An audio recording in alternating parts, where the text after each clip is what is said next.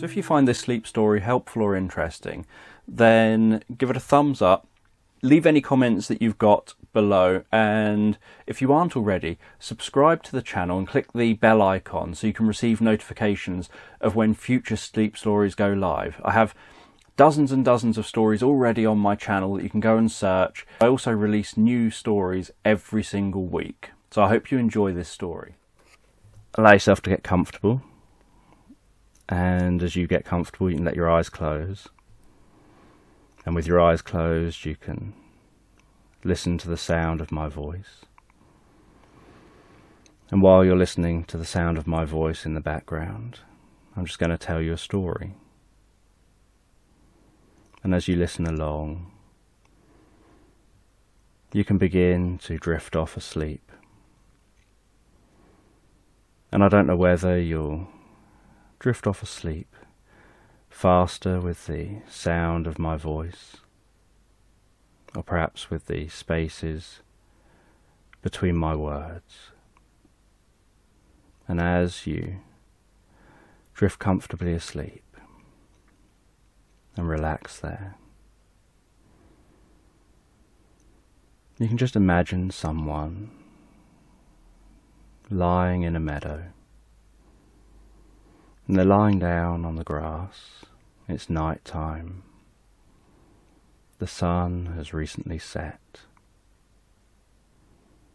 They're gazing up at the sky, noticing the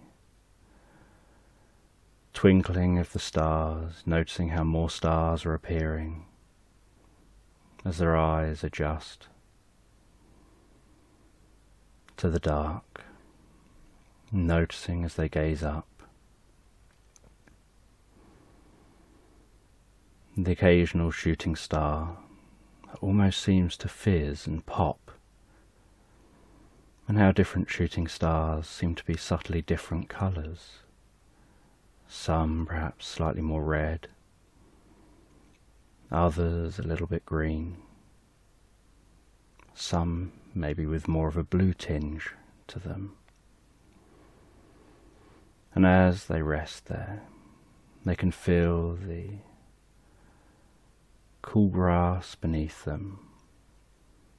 They can feel that tickling of the grass as the most subtle breeze blows on the grass by their hands.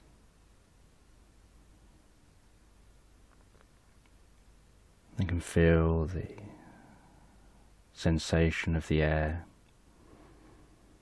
passing in their nose and out.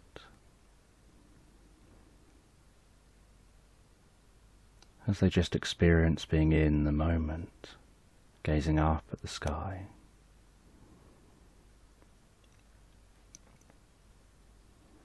And as they continue to relax there, so the moon starts rising, low on the horizon at first, with a, a red tinge, looking large on the horizon. And they just have a sense of that and can see it at the corner of their eye. And can notice how that moon is rising slowly up into the sky. And as they lie there, with their eyes closed, they begin to drift inside their mind feeling so peaceful.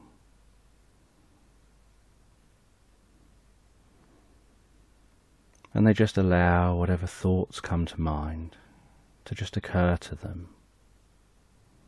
And they start hearing that sound of a, a warm, crackling fire on a cold winter's day. and that sound of the warm, crackling fire gets louder, and they start to feel the warmth from that crackling fire.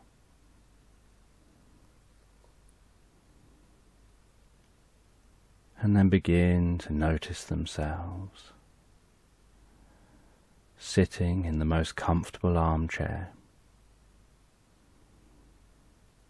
with a cat resting on their lap, purring away. Shadows dancing around the room.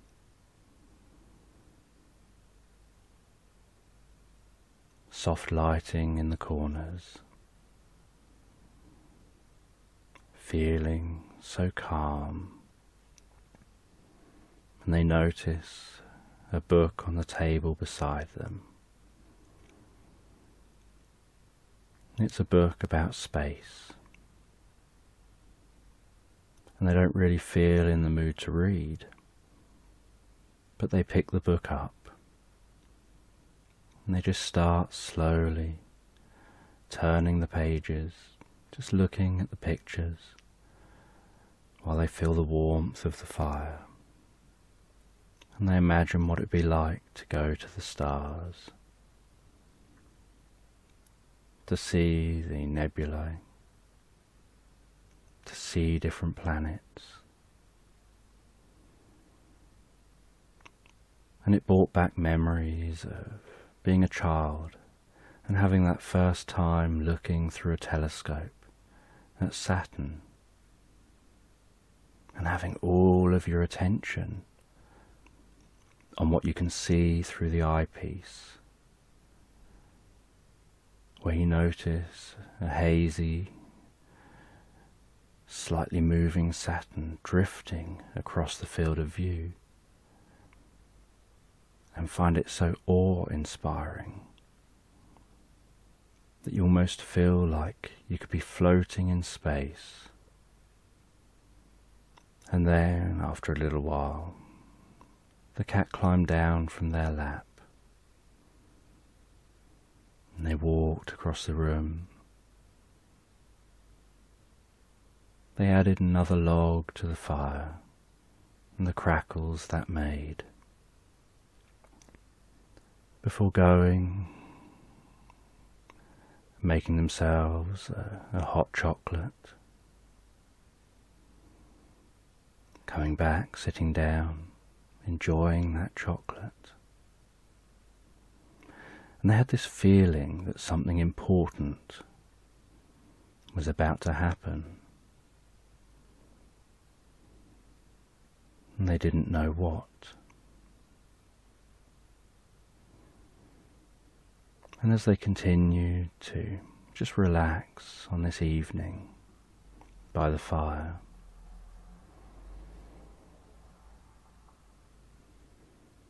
They listened to that crackling. They saw the cat rest on the mat in front of the fire, having the warmest seat in the house. And as the fire burnt down to embers, it was just the most subtle glow. And they went to bed and drifted asleep.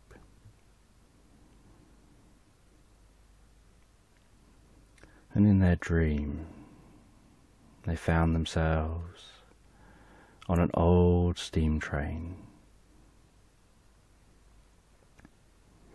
And they were travelling out through a savannah. They were heading out to the middle of nowhere for a safari. And the train pulled into a station.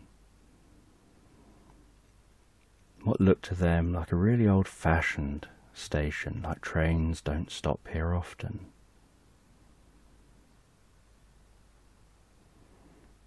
They got off the train,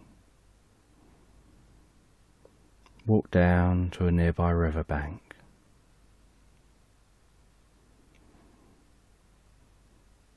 noticing as they walked onto a jetty how their footsteps changed and now echoed on that wood. And they boarded a paddle steamer that was a first for them. And they just enjoyed that leisurely trip down the river. And they could see crocodile in the water, just floating there.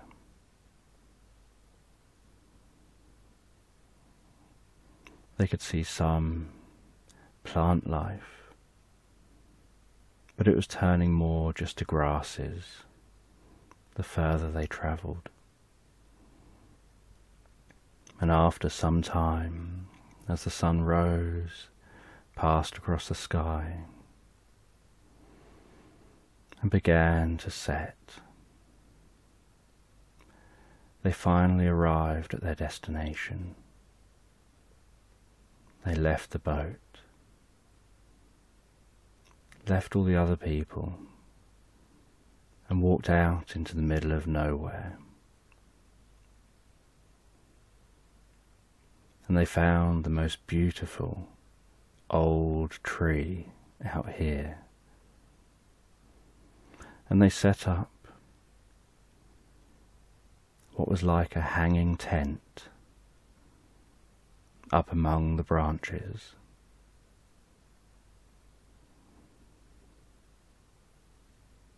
And they lit themselves a campfire, had themselves some food,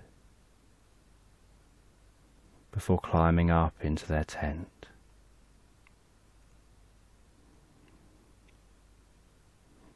Where they could see the Milky Way arched overhead.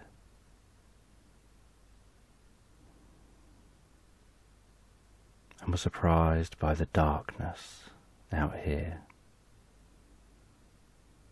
How inky the sky looked.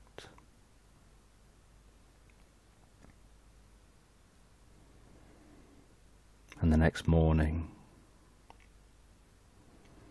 after grabbing themselves some breakfast on their campfire,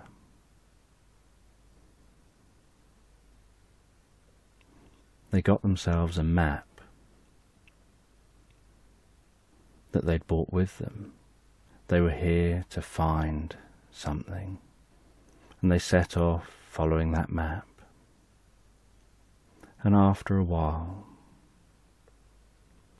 they came across some old ruins they were searching for. And they started exploring around those ruins. And nature had begun to reclaim them and in one of the ruins they started hunting for an entrance. They knew there was supposed to be an entrance here somewhere, and they'd hoped it hadn't previously been found.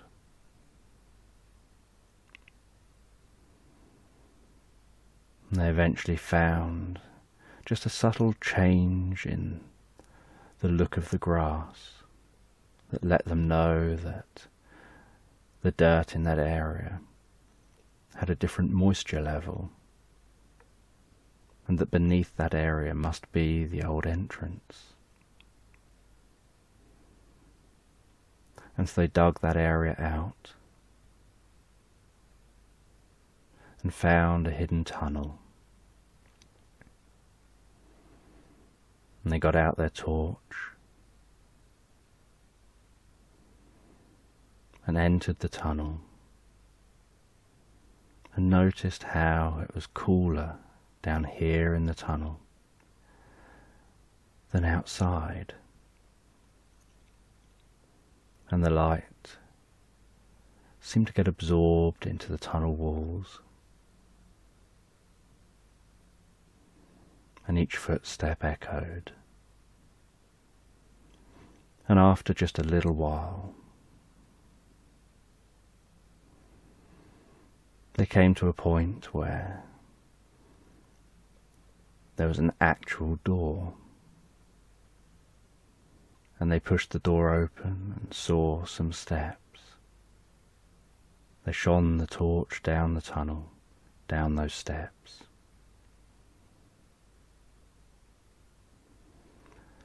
and it looked like they were going to have to hold on to each side as they descended, so they wouldn't be able to hold the torch. So they shone the torch down there, counted the number of steps, and saw that there were twenty steps down to the next level. So they put the torch away, held on to the sides, and started to descend, counting to themselves as they went. On step 20, 19, 18, going deeper and deeper, 17, 16, 15, 14, going all the way down those steps, 13, 12, 11,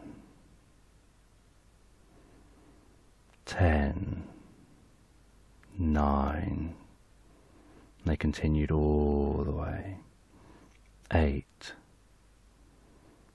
seven, six, five, four, three, and they could hear the echoes of their footsteps coming from below them. Three, two, one, and they step down finally into the lower tunnel. Got their torch out again, turned their torch on, and started to explore down here. And what they found was that they were now in a maze, and there was nothing on their map that told them the route through this maze.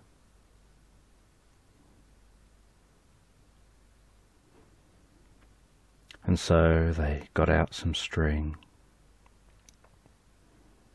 attached it near the steps, and started walking down the different passages of the maze. And every time they discovered a dead end, they would just backtrack with the string and then take a different route. And they knew there would be something like a maze down here because of what it is that they're searching for.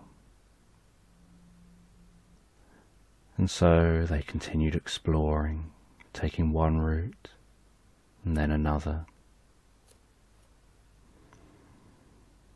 each time having to backtrack with the string and then unwind that string again down a different path until eventually they found a large opening into a huge underground hall.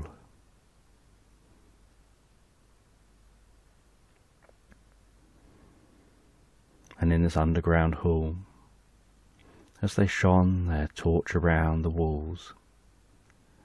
Everywhere their light shone. The walls sparkled, shimmered, and reflected the light around. And they walked over to the walls.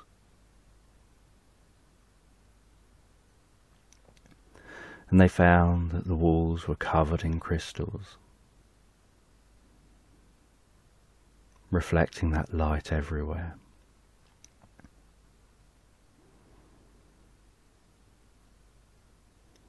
And it helped to give this chamber a comfortable glow.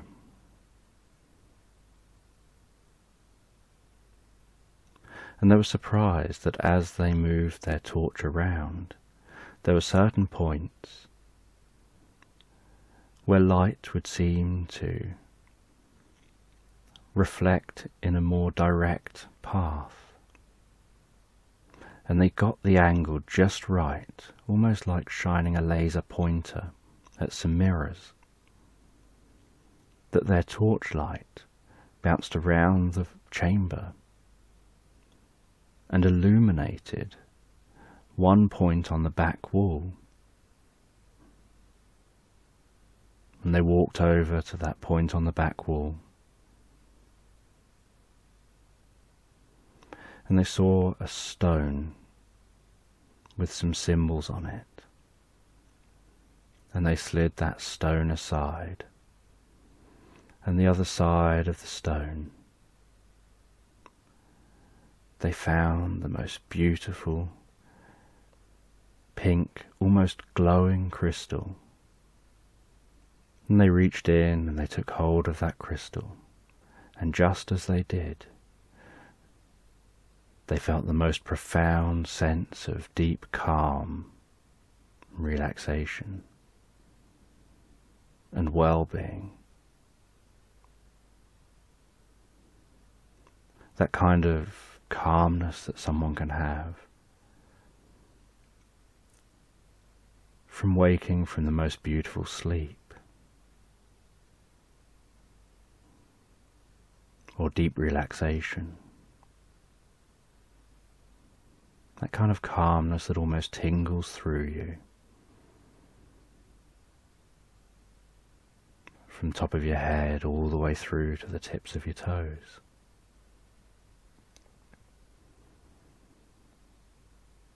and they started to gain some insights, almost like that crystal somehow is containing knowledge that's triggered by touch. And they started absorbing that knowledge and realizing it's knowledge from an ancient civilization.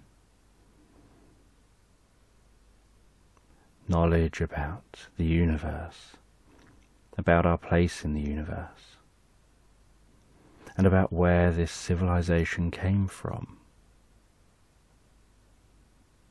Not where it came from on Earth, but where it came from in outer space.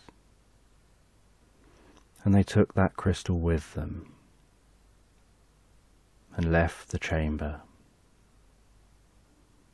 and left the maze and they found their way back to their tent.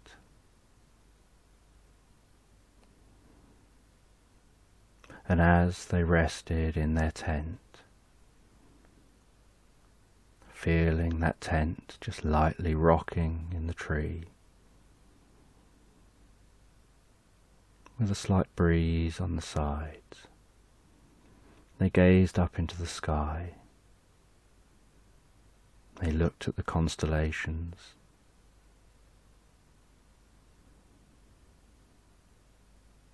And they began to understand their part in it all, their place within the story of this civilization.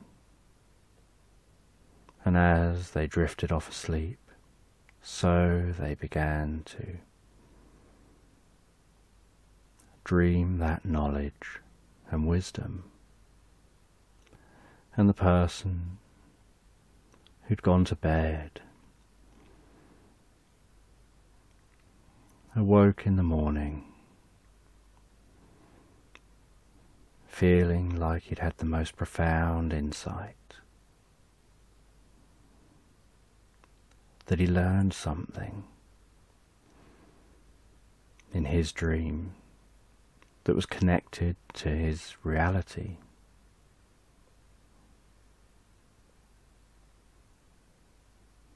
And he went out of his cabin.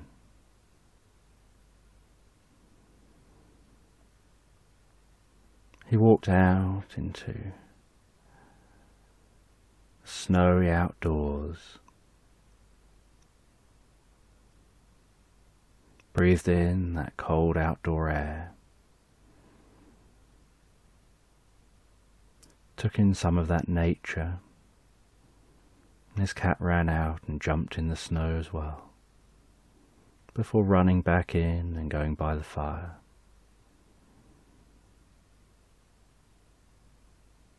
And then they went back in, sat back down in that comfortable chair, and relaxed back in front of their fire.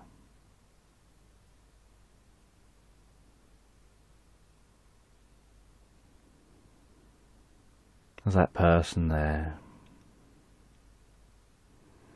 lying back on that really cool and comfortable grass under the most beautiful night sky. Could feel the light of the moon on their face as the moon reached high overhead now.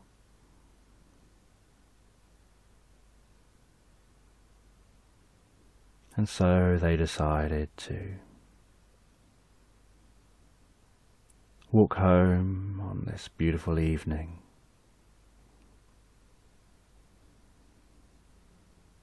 Where they went indoors, went up to bed,